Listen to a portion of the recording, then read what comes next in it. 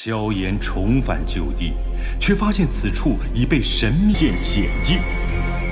实力今非昔比的炎盟盟主的萧炎，其威名早已响彻整个。萧炎悍然出手，震撼全场。Không lâu sau, mọi người lúc này đã đi vào bên trong không gian trùng động. Trên con thuyền lớn, mọi người cũng mau chóng hướng về phía trước. Đứng trên mạn thuyền, Tiêu Viêm nhanh chóng đưa hai tay mình ra rót đinh lực vào một quả cầu, cung cấp năng lượng giúp chiếc thuyền có thể di chuyển. Thế nhưng, đang trong lúc Tiêu Viêm rót năng lượng vào quả cầu thì Tiểu Y Tiên đã từ phía sau tiến tới, thanh âm vang lên nói: "Đến lượt muội rồi." Dứt lời, Tiểu Y Tiên liền quán nhập năng lượng vào quả cầu trước mắt, thấy thế, Tiêu Viêm liền thu tay lại. Sau đó, vươn vai vẻ uể oải, thanh âm vang lên đáp: "Chúng ta tiến vào nơi này được mấy ngày rồi?" "Đã 16 ngày." Nếu vậy, chúng ta chắc chỉ còn cách đích mấy ngày nữa thôi. Hiện giờ đã đủ tài liệu để khống chế ách nan độc thể. Thế nên, ta muốn tận lực tìm kiếm ma hạch phải là cấp 7. Đến đường cùng, chúng ta mới phải sử dụng viên ma hạch cấp 6 kia. Được, cứ theo quyết định của huynh đi. À, ta đối với bằng hữu thật đúng là làm hết chức trách, lao tâm khổ tứ mà. Nghe được những lời của tiêu viêm, tiểu y tiên cũng cười thản nhiên, ánh mắt lưu chuyển khẽ nhìn tiêu viêm chậm rãi nói. Chỉ là bằng hữu sao? Nghe vậy, tiêu viêm bất chợt đứng hình, thế nhưng đúng vào lúc này, một tiếng xé gió vang lên, không gian nơi này đột nhiên biến đổi. Không lâu sau, một trận rung động đột nhiên diễn ra. Trong lúc đó, khi Tử Nhiên ngồi trên đầu thuyền, cô nhóc liền bị nó hất văng về phía sau rồi ngã nhào. Trên thuyền, mọi người cũng bị một trận rung lắc làm cho thân thể siêu vẹo. Thế thế, Tu Viêm nhanh chóng rót năng lượng vào quả cầu kia, đồng thời thanh âm gấp gáp nói: "Sao lại thế này?" Nghe thế, Hân Lam liền đáp: vách tường không gian chưa được chữa trị hoàn toàn nên đã xuất hiện không gian phong bạo kéo ngược con thuyền trở lại. Nghe thế, thu Viêm nhíu mày, anh ấy nhanh chóng cùng Tiểu Y Tiên rót thêm năng lượng vào con thuyền để nó tăng tốc.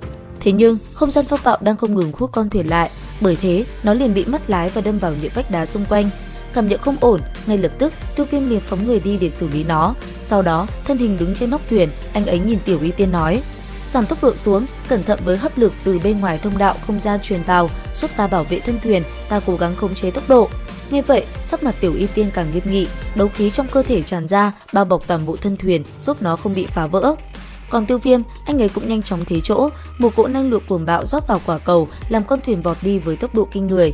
Thế nhưng, tốc độ đó duy trì không được lâu, chỉ lát sau, nó đã chậm lại, lực hút liền làm con thuyền lắc lư và va vào những vách đá. Thấy tình hình không ổn, Tư Viêm gấp rút nói: "Tử Nghiên, giúp một tay." Nghe thế, Tử Nghiên để làm theo, đấu khí hùng hậu từ trên người nàng cũng nhanh chóng quán chú vào quả cầu kia, nhờ vậy con thuyền lại có thể tiếp tục di chuyển. Không lâu sau, thanh âm ngân Lam hú lớn vẻ mặt vui mừng nói: "Tiêu Viêm đại ca, trước mắt đã là cửa ra rồi." Nghe vậy, mọi người liền nhìn về phía trước, vẻ mặt đầy vui sướng. Thế nhưng, phía sau mọi người, cái lỗ hổng kia ngày càng hút mọi người lại mạnh hơn. Thế thế, Tu Viêm thầm nghĩ, nếu với tốc độ này, anh ấy cùng mọi người sớm muộn cũng bị hút trở lại. Hai mắt đỏ ngầu, Tu Viêm chợt quay đầu lại, hướng về phía Tử Nghiên quát lên. Người từ quán chú đấu khí, tăng tốc độ nhanh lên. Bị bộ dáng kia của Tiêu Viêm làm cho hoảng sợ, Tử Nghiên liền mạnh mẽ rót đấu khí vào trong quả cầu kia. Còn Tiêu Viêm, vừa khi có Tử Nghiên trợ giúp, hai cánh khẽ động, anh ấy liền hướng về phía sau và đẩy mạnh con thuyền đi. Lúc này, ánh mắt Tiêu Viêm đã hoàn toàn biến đổi, trên miệng không ngừng gào thét. Cứ thế, anh ấy vẫn toàn lực đẩy vào con thuyền. Nhất thời, tốc độ của con thuyền đã lập tức được gia tăng và cũng nhờ có sự nỗ lực của tiêu viêm, cuối cùng con thuyền cũng tới được cửa ra. Vẫn hết sức, mọi người cùng nhau cố gắng đi tới cửa ra. Cuối cùng, khi con thuyền chạm vào vũng xoáy đen kịt kia, một luồng ánh sáng lóe lên, tất cả mọi người liền biến mất trong không gian đen tối. Không lâu sau, thân ảnh ba người tưởng nhiên cùng Tiểu Y Tiêm và Hân Lam bất ngờ từ trên trời rơi xuống. Lùng côn bò dậy, không thấy tiêu viêm đâu, tưởng nghiêm phụ phịu nói. Tiêu viêm đâu, hắn sao lại không đi ra ngoài? Nghe vậy, Hân Lam thanh âm vang lên đáp. Không cần lo lắng, tiêu viêm đại ca đã thuận lợi đi ra khỏi không gian thông đạo đó rồi. Lời nói vừa dứt, đối diện Hân Lam, Tử Nghiêm và Tiểu Y Tiên liền hu lên một tiếng thất thanh nói. Vậy hắn ở đâu rồi? Nghe vậy, Hân Lam đáp lại nói. Có thể huynh ấy bây giờ hẳn đã bị truyền tống đến một địa phương khác của Trung Châu, thế nhưng chỗ nào ta cũng không rõ. Thế thế, Tử Nghiêm và Tiểu Y Tiên mới thở phào, nhất thời ánh mắt của mọi người liền nhìn về phía trời cao. Hoàng không cứ thế qua đi, bây giờ cảnh vật đã thay đổi thành một màu vàng nóng cháy, nơi có một vùng đất cằn cỗi. Bất chợt, nơi sa mạc cằn cỗi xuất hiện một bóng người rơi xuống. Nhìn qua, khuôn mặt của Tiêu Viêm có chút không ổn. Gắng gượng ngồi dậy, anh ấy liền lấy ra một viên đan dược và ăn vào. Thế nhưng trong cơ thể, cơn đau nhức rất nhanh đã ập tới. Giờ khắc này, Tiêu Viêm không còn tự chủ được bản thân mình nữa, cơn đau đớn đã làm anh ấy rơi vào hôn mê.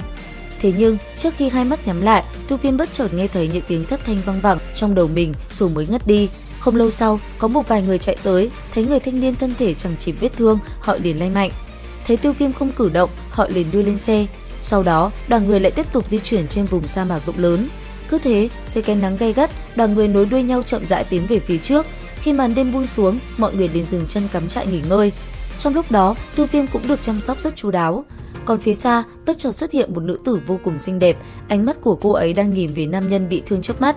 Sau một hồi, Nàn liền phân phó cho mọi người lộ trình ngày mai khi đi qua một nơi là địa phận của yêu xà hạ mãng.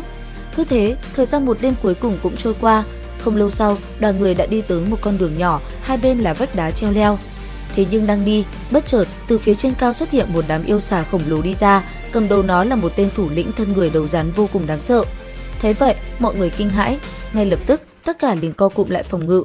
Tuy nhiên, dưới sự phát động của thủ lĩnh, đám yêu xà kia rất nhanh đã lao tới.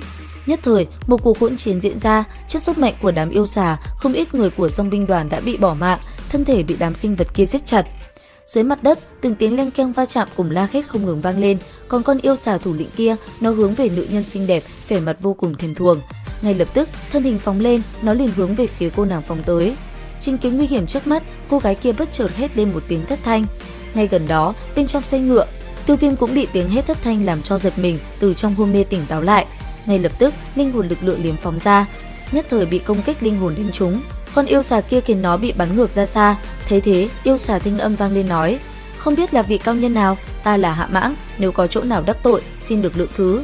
Thế nhưng, mong bằng hữu không nhúng tay vào chuyện này." cho các ngươi rời đi, nội trong 10 hơi thở còn không đi, tất cả đều bỏ mạng. Nếu bằng hữu cố ý phải bảo vệ bọn ta, hạ mãng hôm nay phải thất lễ rồi. Dứt lời, trong mắt hạ mãng đột nhiên tuôn ra hàn mang dữ dội, nháy mắt đã lần thứ hai lao tới trước mặt hàn tuyết, thanh âm quát lớn nói. Con quỷ nhỏ, nữ nhân hạ mãng ta coi trọng, chưa ai có thể thoát khỏi tay. Thế thế, tiêu viêm quát lớn nói, chán sống. Dứt lời, một đạo vô hình năng lượng dao động ngay lập tức phóng tới đánh vào ngực hạ mãng, Tiếng nổ mạnh trầm thấp vang lên, một luồng kinh lực khổng lồ nổ tung trên lồng ngực Hạ Mãng, khiến thân thể nó đầm đìa máu tươi. Ở gần đó, chứng kiến cảnh tượng vừa xảy ra trước mắt mình cùng máu me bắn ra, nữ nhân kia vô cùng kinh hãi. Còn Hạ Mãng, sau khi thân hình ổn định lại, sắc mặt nó kinh hãi nói: "Linh hồn lực lượng, ngươi là luyện dược sư sao?" Nghe vậy, Tiêu Viêm không đáp trả, lực lượng linh hồn lại một lần nữa dựng lên, mang theo thế lôi đỉnh, hung hăng bắn mạnh tới công kích Hạ Mãng. Thế thế, Hạ Mãng quay đầu, ngay lập tức dùng tốc độ nhanh nhất, nó liền bỏ chạy, Thế thế, đám yêu xà nhanh chóng lao theo. Chứng kiến đám yêu xà rời đi, mọi người trong dòng binh đoàn vui sướng nói, tên kia giữ mạng thật thuần thục, xem ra không ít lần bị đuổi bắt. Còn nữ nhân kia, nhìn xung quanh nơi này không thấy bóng dáng người vừa ra tay đâu, cô ấy cung kính nói, phạt bối hàn gia hàn tuyết, hôm nay đa tạ tiền bối ra tay, không biết có thể hay không hiện thân gặp mặt, cũng là tốt để vạn bối đem danh quý của tiền bối khắc cốt minh tâm. Là phu tiện đường mà thôi, gặp mặt cũng không phải là việc tốt, đi đi. Nghe vậy, Hàn Tuyết cũng đành phải thất vọng thở dài một hơi, Nhìn mọi người, nàng nói, tiếp tục khởi hành thôi. Còn tiêu viêm nhanh chóng thu lại linh hồn, anh ấy lại một lần nữa nhắm mắt, sau đó nằm yên lặng trên xe ngựa cùng đoàn người tiến về phía xa. Đến đây thì hết tập 90 phần 5 đấu phá thương khung Xin chào và hẹn gặp lại các bạn ở những video tiếp theo.